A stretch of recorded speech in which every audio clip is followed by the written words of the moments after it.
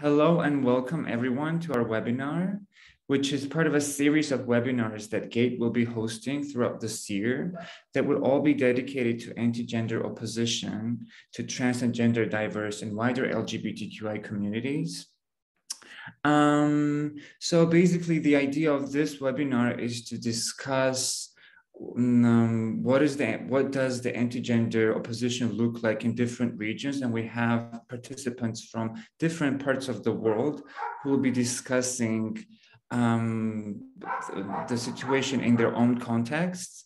And the idea is for our viewers to be equipped with information and see similarities as well as differences between how anti-gender groups mobilize and attack trans and gender diverse groups in, in different regions, as well as see similarities and differences between how transgender diverse and wider LGBTQI communities respond to these attacks and, and the wider opposition. Um, we, I would like to thank our participants and the organizations that allowed us to create this webinar. This is RFSL, Pan Africa ILGA, uh, ELA para uh, Translatinas, and UC Trans. All of these organizations, a huge portion of their work is regional, which means that they are in a continuous conversation with activists in their own respective regions. And they're best positioned to give us an overview of what's happening in their contexts.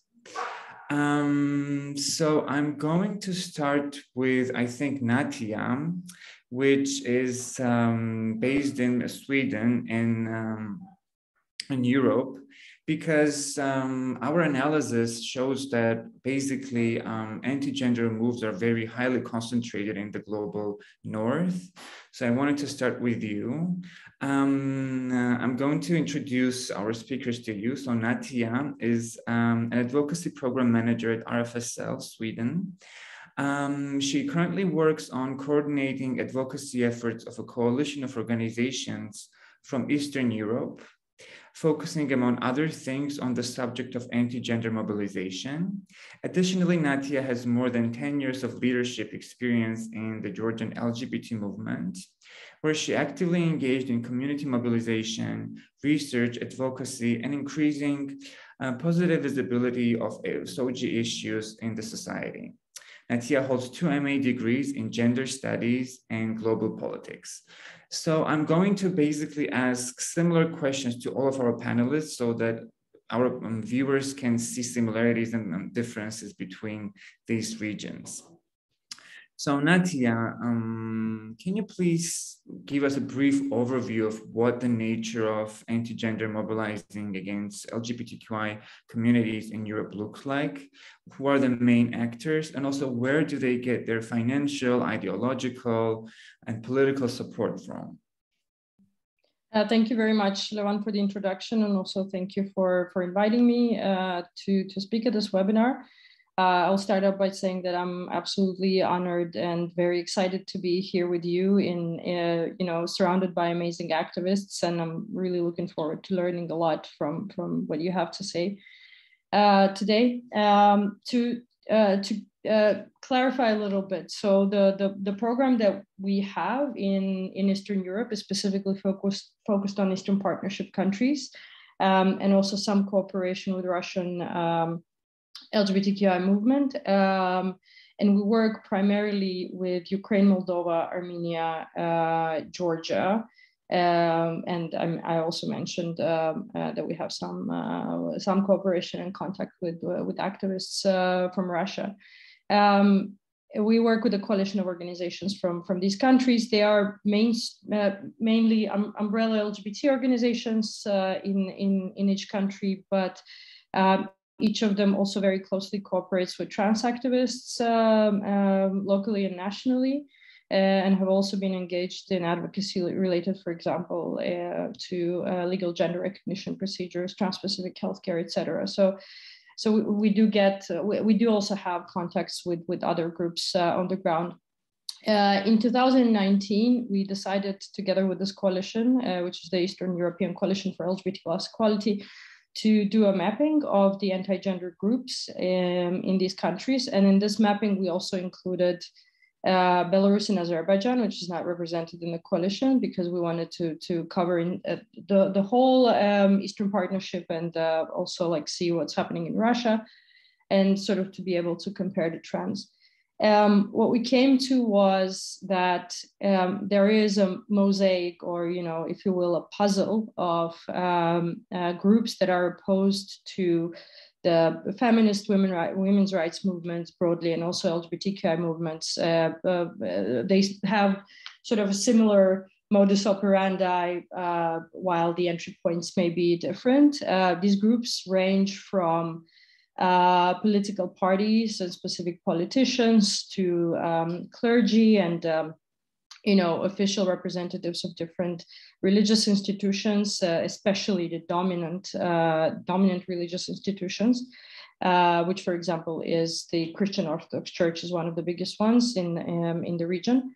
Um, and uh, uh, then, you know, it goes down to more violent and militant uh, far-right groups, which are not represented everywhere, and I will explain very shortly about that. Uh, but there is a larger share of the so-called conservative civil society that is oriented at, um, I guess, advocating against um, uh, sexual reproductive health and rights, uh, and also, of course, always advocates against uh, any sort of progress and any sort of improvements um, in the rights of um, LGBTQI people. For far right groups that are more violent, we noticed a bit of a difference uh, between the states that are more authoritarian and a little less authoritarian. So the states such as Belarus, Azerbaijan, and Russia, uh, they maintain a monopoly on, on violence and repression, basically, which means that uh, any type of uh, far right groups, for example, that are anti-establishment, are treated more or less the same as you know the NGOs and civil society that criticize the state. Um, and there are very strict um, anti-extremist laws. So basically, all these uh, far right movements are also sort of quashed and you know uh, driven underground doesn't mean that they don't exist but i mean their influence is not as big.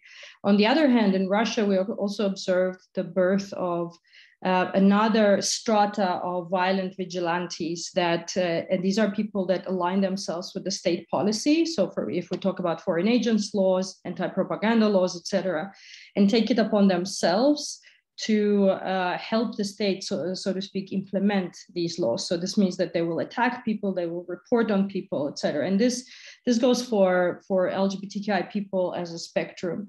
Um, to focus a little more specifically on anti-trans um, tendencies, what we saw was that there is no such pronounced mobilizing of the uh, groups that you know uh, position as feminist but are very exclusive of you know trans non-binary gender diverse people. There are some uh, outspoken individuals and maybe smaller groups uh, that we used to see in russia and ukraine maybe a couple in moldova but as it, it hasn't been present as a tendency uh, but it, of course, doesn't mean that you know anti-gender movements in general are, you know, for some weird reason, very friendly to, to trans people. That's absolutely not true. So any type of you know reform that also includes trans people has uh, um, has been uh, targeted by, by, by these groups uh, in a in a negative sense. Um, what we've been noticing uh, recently. Um, in countries such as Georgia, for example, is however that the ongoing discussions that come from uh, you know the media reporting on what is happening in the US and the UK with you know the, the, the the schools but also like the participation of trans people and trans youth in sports for example as well as uh, all the discussions around J.K. Rowling and her transphobic statements uh, uh, that has been seeping into the discourse and discussions of you know more middle class liberal people that you know position themselves also as feminists and you know overall supporting LGBTQI rights. Um, and we've been seeing increasing discussions where you know trans people, their identities, you know the legitimacy of the claim to be able to participate in sports, have access to some spaces, have been questioned more and more. So I'm afraid we will be seeing a little more um, effects uh, of of this, uh, unfortunately. Um, yeah, I think I'll stop here for now. As for influences, very very shortly, and and uh, uh, funding.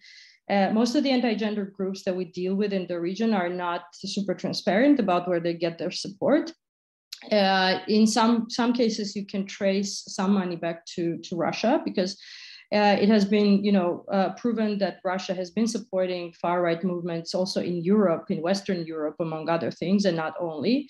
And there's also a big interest that we see from international uh, and US-based groups uh, such as National Organization for Marriage and their World Congress of Families has been very present in the region, and this has been rather unfortunate. So there's um, there's a, a, lot of lack of transparency, but also some things can be traced back to very specific sources, and especially rich sort of people, oligarchs and rich businessmen that businessmen that hold these uh, same values and want to you know support this type of uh, organizing, so to speak. So I'll stop here. Thank you.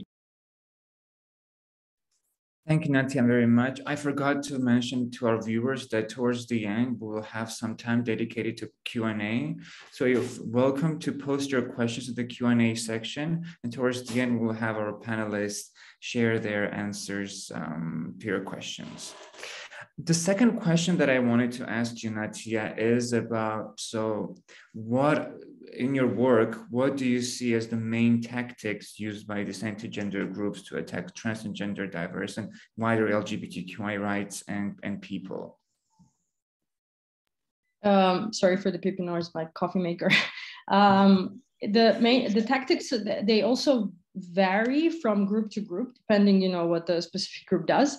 Uh, when it comes to more militant far right groups, uh, what we've seen is that typically they do uh, protests. Uh, uh, or they, you know, attack some people, and but they also work on recruiting youth. So they try to capitalize on frustration that uh, may be there among, you know, young people, especially in different, you know, in specific social social strata, because uh, all the countries in Eastern Partnership, uh, are, they're not like we're not rich countries, and you know there's a lot of social and economic uh, inequality, um, and the leaders of this group are very um, adept at uh, you know manipulating um, this. Uh, so there will be always comparisons of you know if you have like one reform in every 10 years that is inclusive of LGBTI uh, people or LGBT people, even. I mean, um, uh, intersex uh, organizing and uh, attention to intersex uh, people and rights is very low uh, across the region um, especially in some countries. Uh, but I mean, if you have like one reform for 10 years, they will blow it out of proportion and say that, you know, the government cares more about these groups than, you know, about you poor people. And, you know, it's disregarded that queer people uh, are very poor. We're very poor ourselves. and, you know, there's a reason for that. So there's one tactic uh, they also spread a lot of false information and so you have to be constantly in this like fact check uh, sort of mode, uh, which uh, most of the general public doesn't do. Um, so they man- manipulate the discourse, manipulate uh, different issues around LGBTQI uh, rights. Um, they create an illusion that's very important. They create an illusion of uh, of a movement, of a bigger movement, uh, if when it comes down to it, these groups may not be that numerous or that influential either, but they're very good at creating an illusion that they have this huge following and that they represent, you know, the people and the people's will. Uh, which is very dangerous. Um, they also often have political ambitions. I mean, we've seen both uh, in in Ukraine uh, historically, but also in, recently in Georgia and Armenia as well, that some of the far right groups registered as political parties, and you know, uh, there's this increasing sort of will of getting into like power structures and being able to to control uh, a little more what's happening. Um, and yeah, they participate in, inter- in international sort of mobilization through events such as World Congress of Family. So this is this is more or less that they manipulate a lot of discourses, especially around you know children's rights, um, uh, around this like division between the traditional values versus uh, Western values. So wherever they can capitalize, they they manipulate it every single time. Um, and so, in, in in the face of these attacks, um, what are the, some of the tactics that um, trans and gender diverse and wider LGBTQI community has used throughout their work to address this opposition, basically? And can you also give us a brief overview of what activists in that region and also you think that that has worked and has not worked? Um, th that is still a question that has a lot of question marks. Um, I think that especially considering the situation right now with uh, with the war in Ukraine, um, um, a lot of the things will will will be different and will be much harder. So far, um, I think especially in the last five years, first of all, what's been working is um, a lot of organizations have been doing mapping and research and trying to trace the money and trying to very uh, clearly trace some of the tactics that these groups are using. And this has been working in a sense that uh, organizations then built their own communication strategies or their own programs um, around, you know, if not directly responding to this, uh, like indirectly working against it. Um, and what has been very important for, for example, donor organizations, intermediary organizations to understand also in light of this growing opposition is that, you know, providing flexible support to organizations, to groups, uh, smaller groups, bigger groups, you know, you name it, uh, is a crucial issue for adaptability and, and ability to actually respond to some trends uh, and not being locked within the frame of, for example, a project that cannot be budged. So this has been a very important part of the discussion uh, that has been driven in, you know, to some extent, at least to a successful level, because I think that, the, you know, the, the availability of flexible support is growing.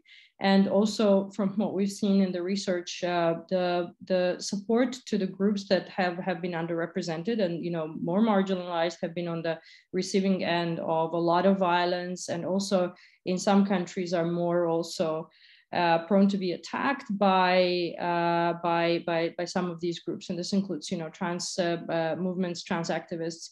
Um, that support has also been growing. And I mean, there's a lot more to be done, but that is a positive development in, in my opinion. And this, uh, I mean, it's not a tactic of the organizations per se, but it's the ask that, you know, is finally being take, taken seriously.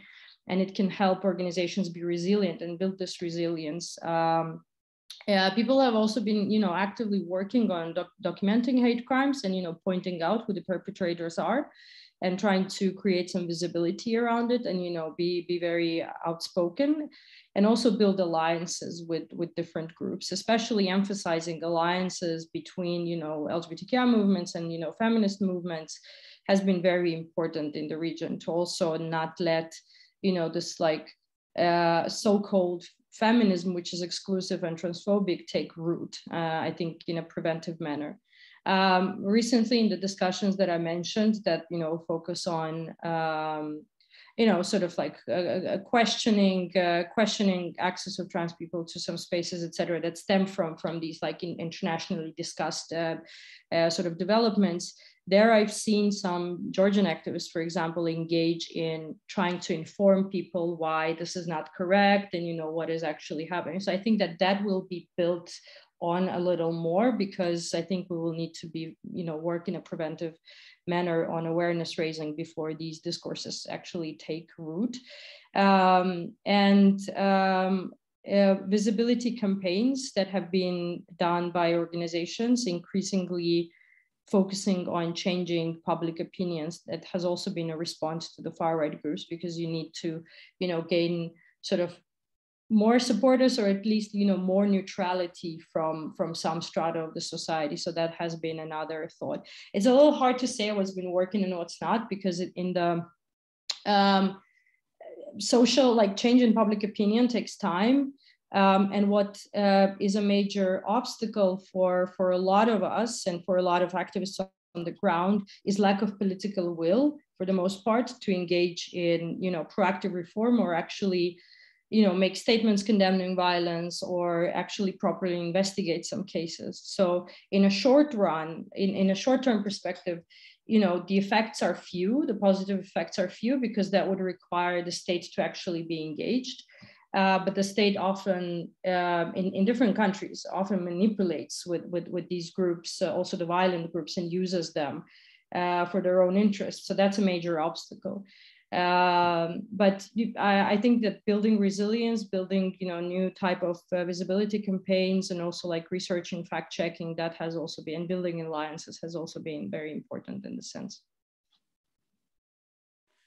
Um, thank you, Natia. And can you also like briefly, like for like one or two minutes, just very briefly also speak to how the situation is changing in this in the recent past, and what do you see as the main challenges and opportunities in the nearest future to continue activism in this field?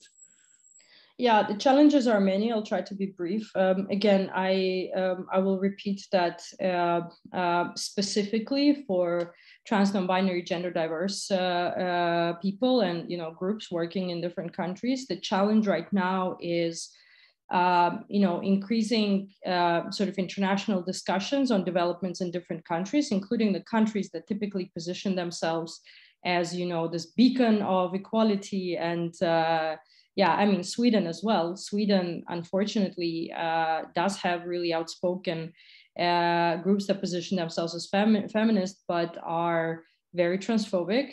And they have been, you know, pausing the, the development when it comes to legal gender recognition law and improvements in it uh, for quite some time. And, you know, the same discussions that come out from the UK, the US, etc they cause a lot of traction, especially in people who are on Facebook, which is again, you know, mostly middle class, more like liberal, that people that position themselves as typically pro human rights, uh, but they have questions. So I think that is something that we should not. Um, uh, we should not feel that it, like it's like it will blow over. I think that the proactive engagement needs to to to happen there, so so that these you know, uh, opinions do not actually take root because so far, mostly there has been quite a good cooperation between different trans groups and you know women's rights groups. Uh, and i think georgia is one of the examples of it but i mean this has been happening also in other countries that i mentioned earlier. Um, and we want to keep it that way as much as possible right?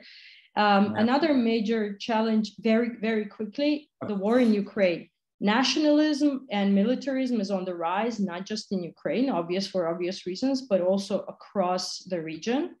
And the dividing line right now lies not so much on, you know, whether or not a person is violently nationalist, but whether or not you support Kremlin, which partially is fair, but in, in the longer run, it will cause, again, you know, uh, more mobilization of far right groups, more normalization of opinions that are exclusionary of specific groups uh, of people in the society.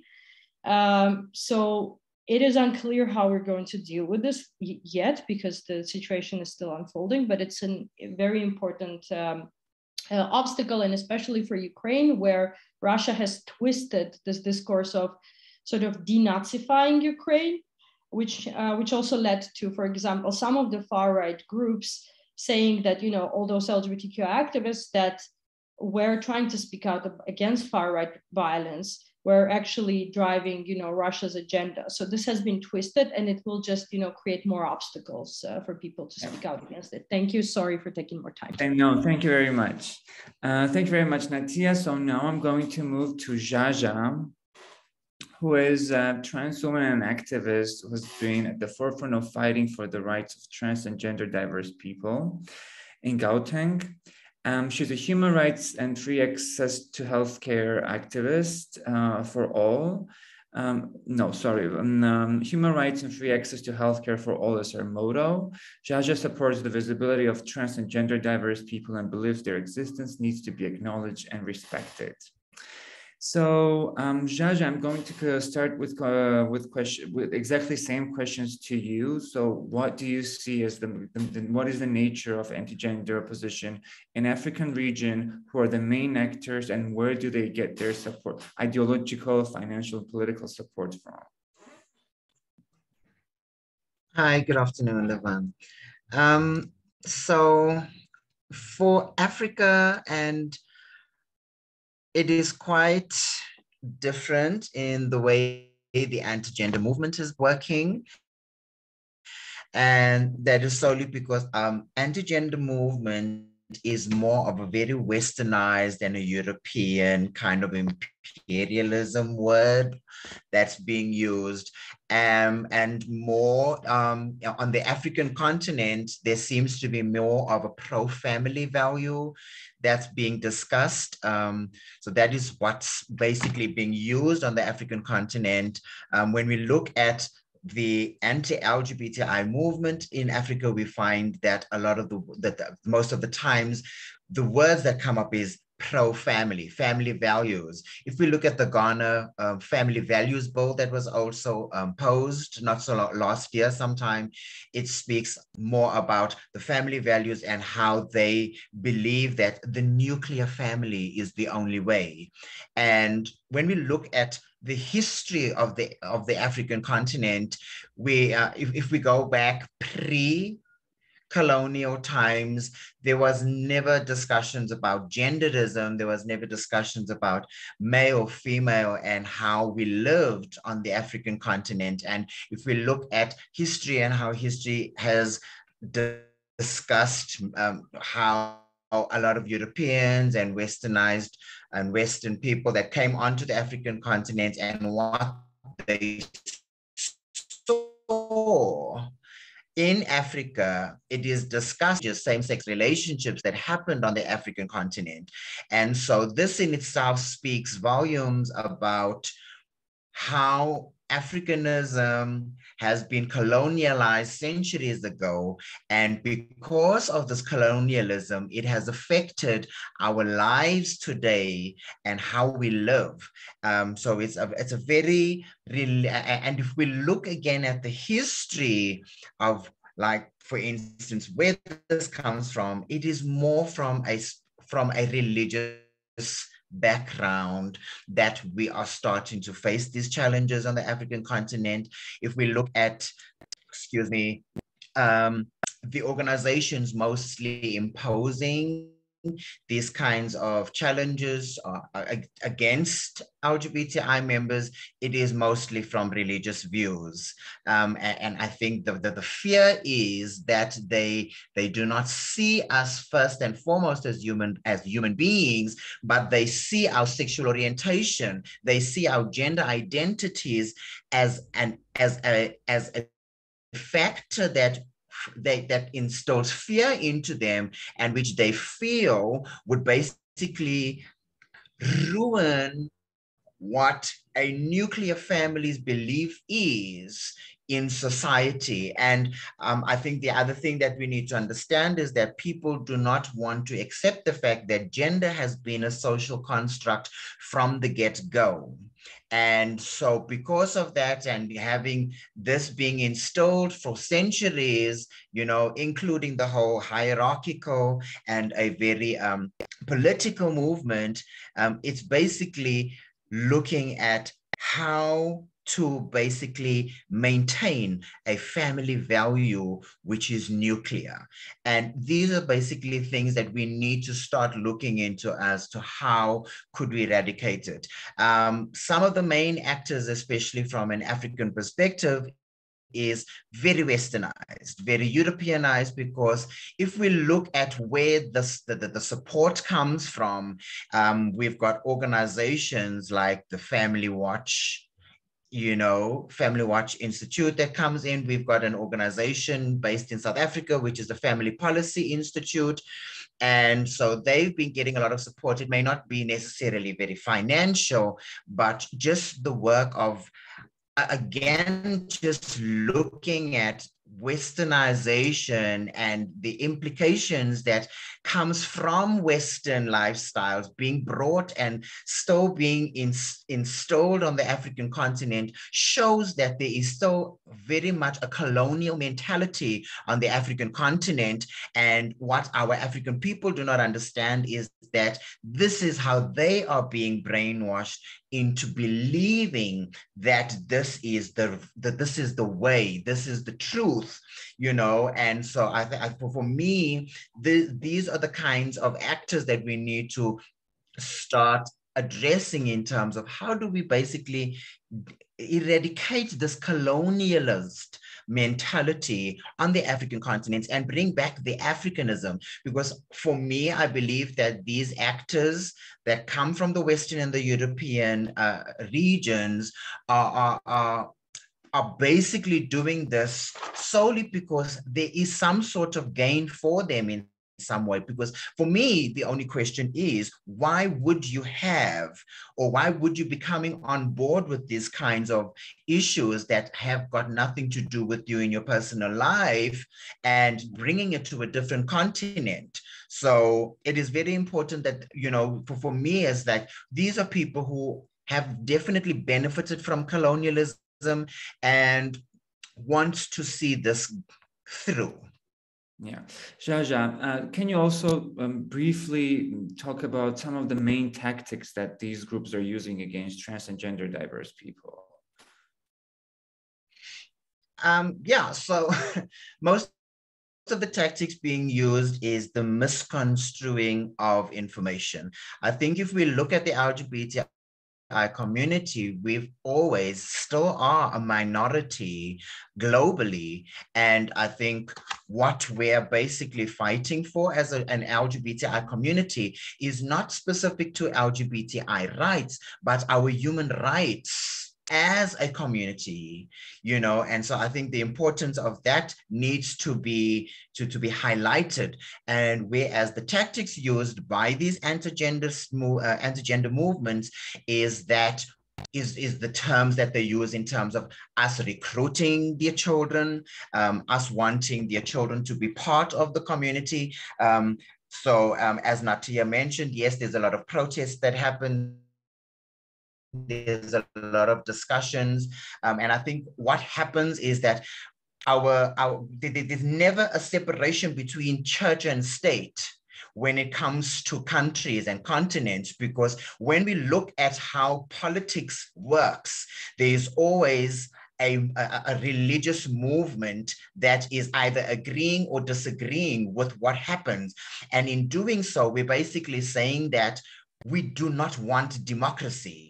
And that seems to be the norm for religious people because our belief globally is that we want a democratic world. We want people to be free free of their minds, bodies, and souls to do what they and how they should live. And so these are the kinds of tactics that they use to say that if we give them their freedom to do whatever they want to, they will instill this uh, uh, into our children. They're going to recruit our children. And I mean, the derogatory part of all of this is that we, as LGBTI people, are seen as pedophiles. And so this brings such a, a bad uh, you know, picture to the community in general. Uh, so, you know, so so these are the kinds of tactics that's being used. Um, they're using tactics of getting to parents and teachers and saying to them that, you know, we, we need to stop this now because you've got to think of your child and think of your child's future. Um, you know, so these are the things. One of the other most important things that, um, which was also brought around uh, about with the COVID-19 pandemic is that a lot of the issues in the world are caused by the LGBTI. This is such a hogwash. And I know that even recently on the African continent, it was discussed that, oh, it's because of the it's because of the LGBTI community that COVID-19 pandemic is here. So these these are the kinds of myths that are construed or, or put out there against our community. And these tactics are used against people that do not have knowledge, who have not, you know, do not have experience of knowing the LGBTI community and knowing what our true fight is for our community. Thank you, Georgia, for this. And can you also speak about, in your work, like what have you observed in terms of how LGBTQI and trans and gender diverse communities are resisting this opposition? What do we have any success stories? And also do we have any criticism of what has not worked in, in past? Um so so you know this the, the this uh, i think Natia mentioned this as well in terms of you know like how uh, um the, the the the resistance from the, against anti-gender attacks is that um, we're, we're trying our level best to honestly just make means for our community to get what belongs to them rightfully. And that is our human rights value, because that is the most important thing that we all need to, to, to, to fight for, to believe in. And so I know that um, there's been a lot of good movement, um, including Botswana, um, where we've basically had the, um, the law uh, overturned in terms of the anti-gender um, in, in, in Botswana. So there is there is a bit of the wheels are turning, they are turning slow, but I do believe that the challenges we have is is getting past the patriarchal, the past the Africanism and also past tribalism in Africa because you know tribalism plays such a major role in in, in progress on the continent because you know uh, it's also being um, installed with the whole religious belief tribalism um, on the continent. Um, organizations out there on the continent that are basically working to to to to, to fighting our values uh, and the true meaning of why we exist and how we exist. And I think we we we, we need to to be more inclusive of expressing what our true purpose is um, as an LGBTI community and look beyond the whole gender ideology that people have perceived of us. Thank you, Zsa-Zsa, very much. Now I'm slowly going to move towards Latin American Caribbean region and I'm going to start with Alexandra. So Alexandra is a sex and gender consultant with trans and um, trans migrant experience. She's the co-founder of Ella para Trans Latinas program in San Francisco, California. She's the program director of La Jauria Trans in Mexico City a program dedicated to empowerment and visibility of trans and non-binary people, including trans and children of youth. So I'm going to ask you exactly similar questions that I had with my um, previous speakers. So what is the nature of anti-gender mobilizing in Latin American region and who are the main actors and where do they get their support from?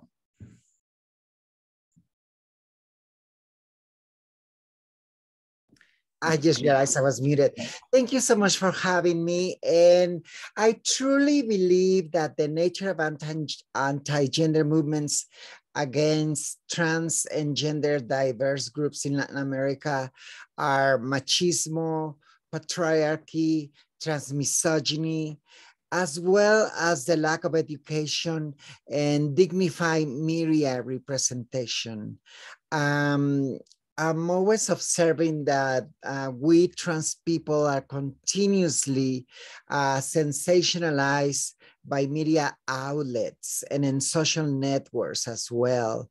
Um, for me, um, I've been staying uh, away from um, social networks since the beginning of the year because um, it is horrible to read uh, some of the articles to read some of the notes, to even go through some of the comments by the um, cis heteronormative uh, people in social networks. Um, everywhere when there's a article or, or news about some trans identified person, um, there's attacks there's attacks. And for example, when a trans woman um, in, in, in Latin America is murdered or victimized, victim of a violent crime, um, the media usually uh, re-victimizes these uh, uh, trans uh, sisters by misgendering them, by using their dead name, and then also the comments of some of the people uh, reading these notes and commenting on it are, are dehumanizing. So I believe that this has a lot to do with how we uh, Latinx and and and and are are, are culturally uh, um, uh, uh, forced to accept uh, machismo as part of our culture, to accept patriarchy as part of our culture. Uh, and there's not uh, also, I, I blame a lot the media because there's not really uh, many media outlets that have dignified uh, trans uh, identify people representing us. Uh, usually they stereotype and stigmatize what transgender is.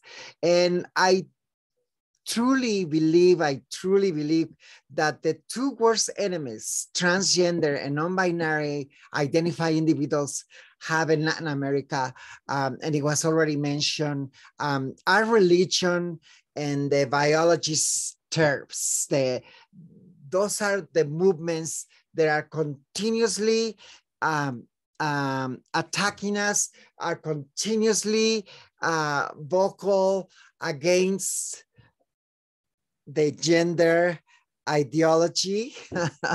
um, they have a pretty hateful promoting narrative.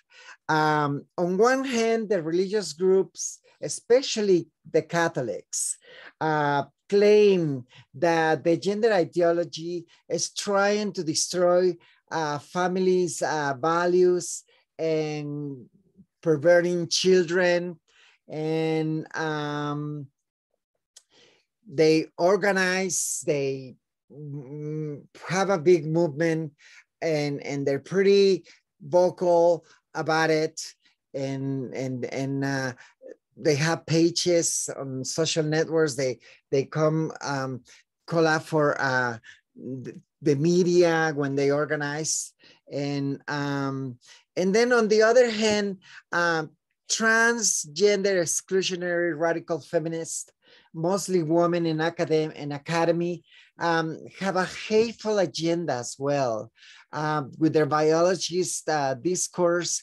and claiming um, that transgender uh, men and women are trying to erase feminist women. And they deny us the, the right to exist in, in society. Um, their discourse make us transgender identify individuals a sexual deviants with a pathology, um, claiming we're on a mission to destroy families as well, perverting children, and distorting the gender binary who is the only thing they accept. Um, therefore, I believe that these are the mostly the the our worst enemies in in in, in Latin America. And uh, in your work and in your work with a lot of activists in your region and you know, observing their work, what have you found? What are the strategies used by gender and trans group, gender diverse and trans groups and organizations in addressing these oppositions? Like what tactics do they use? And if can you share in, if there are any really good success um, success examples? Well, for example, um, I'm going to extend a little more um, on how the religious groups and the TERFs uh, form these coalitions and organize marches and roundtables, and they very involved in politics as well. Um, and um, we uh, here in Mexico City, trans groups, trans uh, human right defenders of transgender identified individuals. Um, we have created uh, several um, online groups. Uh, I myself am part of uh, more than five different WhatsApp groups uh, here in Mexico City alone created and they're national some of these are national as well um, they have um, we have organized and created these groups to discuss these type of attacks.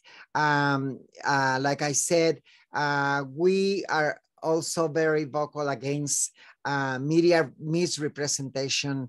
Um, and, and our main focus i believe is to protect our trans children and youth. As we know the church and the TERFs and even society uh, in a cis heteronormative uh, way, they believe, they truly believe that we trans uh, uh, activists and trans people that are organized are uh, perverting children, are, are like, we are the ones that are making children to become trans. That's truly a reality here in Mexico. And for example, where I am. And um, so we are uh, continuously um, defending um, our trans children and youth from these attacks, from these coalitions. Um, we also have formed uh, coalitions and when there's a march, like one of these annual marches from the religious groups, we are present there. We form our contingents to also give visibility that we exist. And uh, to me, it's a great honor because now we have uh, trans families coming to these marches and demonstrate to them that these trans children, trans youth are fully supported by their families. And, and, and um, for me, um, I think um, this work is not just because of, um, it's like not, it's not a work for me. It's like a moral uh, a obligation, a responsibility. Um, so, um, of course, you know, sometimes um, there's division in our movement as well, and it's mostly due to political, private political agendas. But for the most part, we are pretty much organized. Yes. And just very briefly, can you also um, speak about if you see any opportunities as well as like really pressing challenges and that is that are coming up in this recent past and that you anticipate in the nearest future to happen? Yeah, you know, um, even though we have some great uh, advances uh, here in Mexico when it comes to our human rights, uh, for example, um, out of 32 states, uh, 19 of them had passed the gender identity laws. Um, only one of these states um, covers transgender children from five years on. And we also have um, supposedly um, human rights uh, laws that protects us um, against uh, discrimination, but there's a lot of work that we still have to do. Uh, we have two clinics that provide medical services here in Mexico City. They provide uh, HRT and mental health services. But in my opinion, we do have um, we do have a lot of work um, to do, even though we have some support by the, the system. Um, we have trans women also uh, representing us in Mexican Congress. Uh, we have shelters that provide a safe place for transgender people. Uh, we have become very visible in social networks and in their work, uh, but we are still challenged in academy and um, there are some trans people without access to education, especially in rural areas. And we are still challenged in the uh, um, um, workforce. You know, there's um, many, many trans identified individuals uh, unemployed. And um, my concern also as a trans uh, adult, um, a mature adult, um, is that many of my trans sisters and brothers um, are still living in extreme poverty and trans migrants as well are faced with many challenges and a cis normative system that rejects them and prohibits them from having uh, mobility. And as long as my sisters and brothers are still getting murdered and victimized I believe there's a lot more work that still needs to be done here in my region. Definitely. Thank you, Alexandra, very much. Thank you for sharing all of this. And it's among all the alarming things that are happening, it's also it was also nice to hear that there, was, there are also some positive developments happening in the region. So mm-hmm. finally, I'm going to move to Alexus, which is uh, going to represent the context in the Caribbean context. So Alexus is the human rights defender from the Bahamas, and she's the executive director of UCTRANS, which is United Caribbean trans organization. So Alexus, I'm going to start with exactly the same questions with you. How would you describe anti-gender mobilizing and opposition in your region? Who are the main actors? And where do you see they're getting their funding and other type of also ideological support from? Thank you for having me. Uh, it's a pleasure to be here to talk about the Caribbean context when we talk about anti-gender movements. It's quite different, but similar to that of Mrs. Fisher in Africa, where we have these patriarchal systems and we have these um, religious institutions that fuel this anti-gender movement within the Caribbean region. So I would say for us, the main issue comes, the main persons who create and fuel this comes from pro-family groups, persons who believe that we are destroying the fabric of family within the Caribbean region. Um, they use their um, similarities. Oh, we are going to erase nuclear families like we're some phenomenon. So these persons are religious actors. These persons are persons who believe in pro-life agendas, persons who don't believe in sexual health and reproductive um, issues. These persons are religious fanatics. I can't stress this much, as much because this is where it's fueled from the church. It's fueled from Christianity. It's fueled from this biblical context of how we are to protect human life, how we are to protect um, male, female, this binary term that most people are used to. So we'll also see that women's groups play a part of this, um, especially when it comes to high political women's groups who um, infiltrate in the Caribbean region and take up space in um, the UN. They take up space in the OAS. They take up space in a lot of the decision-making spaces where it's infiltrated through our communities and to our communities. But the pro-family groups are the main ones and the religious institutions are the main ones that spew this type of hate towards um, trans and LGBTI people. Um, some of the main actors, like I said, are even Ministry of, of um, State. The state is one of the main actors coming out of the departments of Ministry of Gender Affairs. These people have not yet recognized the existence of trans citizens or the existence and diversity of human beings. Their focus within the ministry is basically binary contexts, protecting women and girls, not including um, trans communities as it relates to gender-based violence is a perfect example. So some of these actors are persons within the state whose duty is to protect all citizens.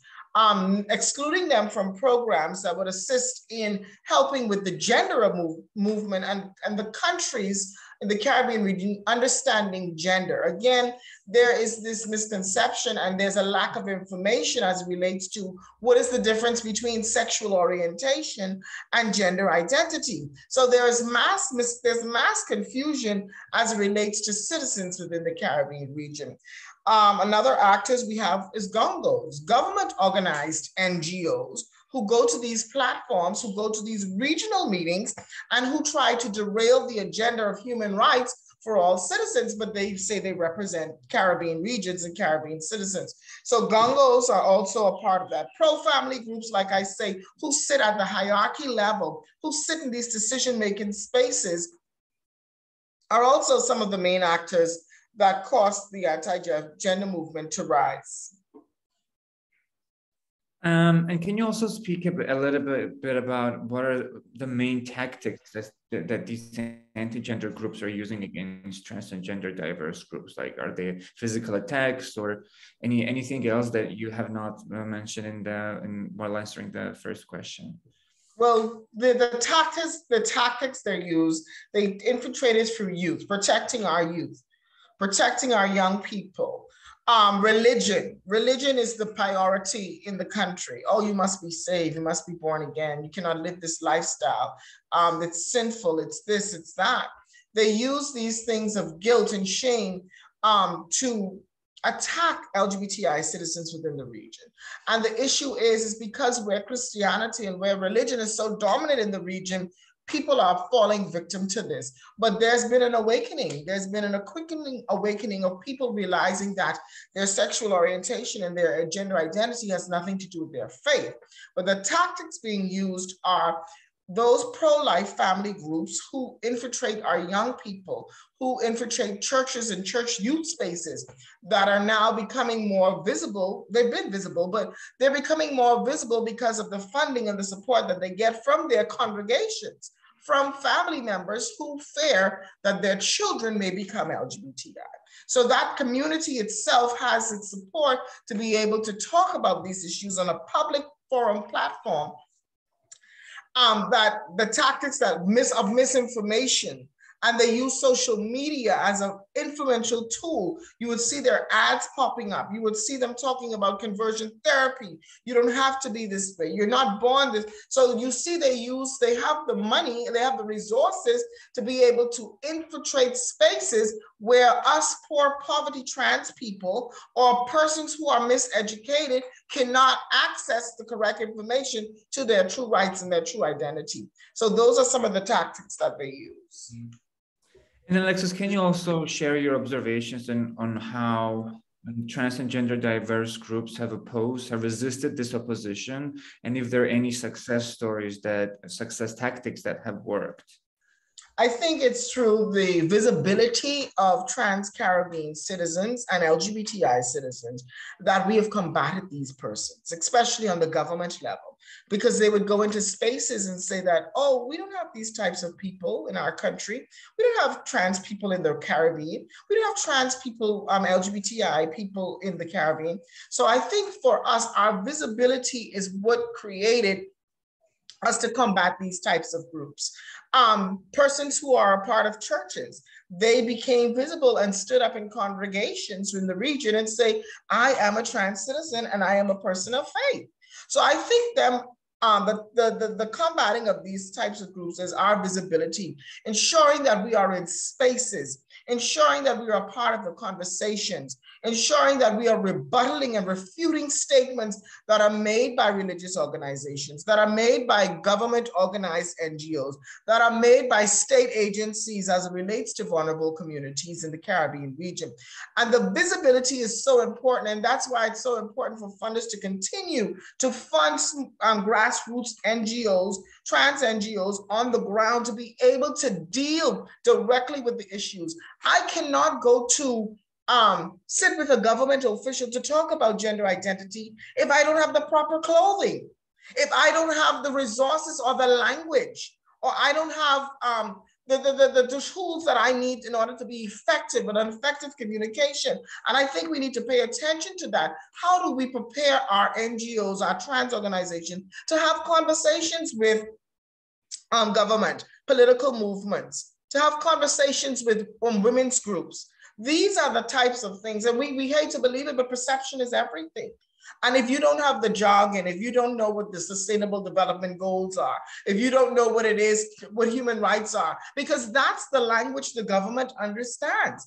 That's the language that the decision makers and the gatekeepers understand. So some of our combative tactics was learning about the SDGs, learning to speak the language of the government, changing the language to, to accommodate those decision makers and those political will leaders that will make the change for our communities. Yes.